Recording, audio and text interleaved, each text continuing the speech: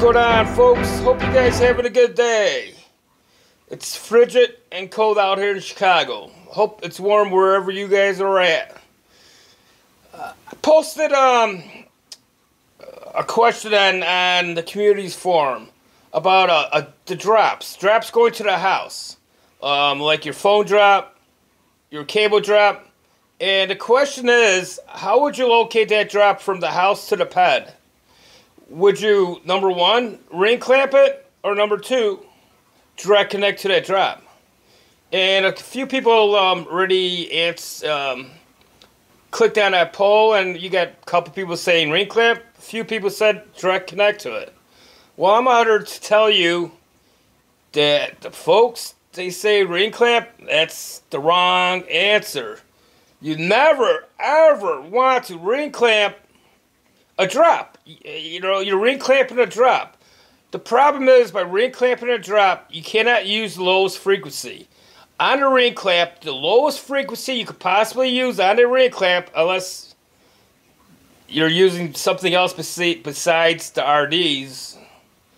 That with the RDs, the lowest frequency you could possibly use on a clamp is 8 kilohertz. 8 kilohertz. That's the lowest. So by using a high frequency on a small, little, thin piece of, uh, I call it a pencil, size of a pencil, a drop, size, maybe half maybe smaller than the pencil.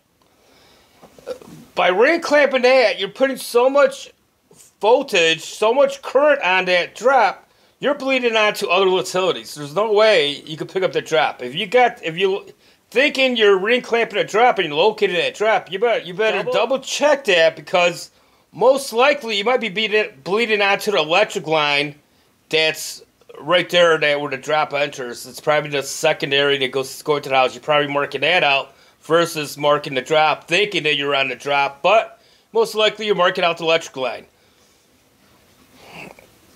Because of the current you're pushing out. You're pushing way too much current and you're just bleeding on you're just bleeding over onto something else. And for you folks that's out there that located traps by ring clamping it, you got lucky. I mean, it doesn't. You won't get lucky all this time. You know, and you got to ask yourself how many damages you got. You hit orange paint over the electric, and it's not running with the electric. It's um, three, three, four feet away. You know how many time, how many drop hits did you have? You have to question yourself that. So just never ever reclamp a drop. I mean, it's just it, it, it's not the right way. The best method is always direct connect. Direct connect been the best method ever since we started locating. It was direct, well, before that, it was the radios, AM radio, and all that. But after, when technology got built up, it was direct connect to it. You're putting your current on directly on a cable by direct connecting to it. Then, with technology, you know, got up, they invented the ring clamp. And the purpose for a ring clamp is for cables that you cannot direct connect, like a phone line uh, 3600 pair cable. It's, it's, it's one long cable. You cannot direct connect to it unless you peel back the sheeting, which you shouldn't, because that's a high profile cable. You got to ring clamp that to get your tone. You know, that's why the ring clamps came out for the bigger utilities that you could put a tone on it and the tone would travel quite a ways. But for for but for drops going to a house, You always want to direct connect to that drop. You never want to ring clamp that drop.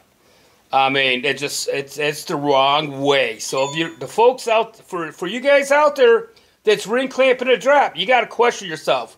How many times did you get a damage by ring clamping it? Go back and look. You guys, you folks out there know. You folks out there know who you are, the damages you got. You know, and that's the reason why, because you're ring clamping the drop and you got those damages. So stop ring clamping, direct connect. And when you're direct connected to uh, cable drop or a phone drop, make sure it's unbonded. Unbonded by the common ground or unbonded wherever that little wire's going, unbond that. Because if that's bonded onto a common ground and the power's grounded on the same ground, most likely you go pick up the power too. So guys, anytime you go out there, make sure that you direct connect to it Make sure it's unbonded, so it's not grounded to any other utilities, and you should have a, get a beautiful tone. Your milliamp should be high, nice and high, and that, that cable should sing to you on, on the receiver, all the way out to the pedestal, wherever it's taking you, folks. You guys have a good day, and we'll see you next time.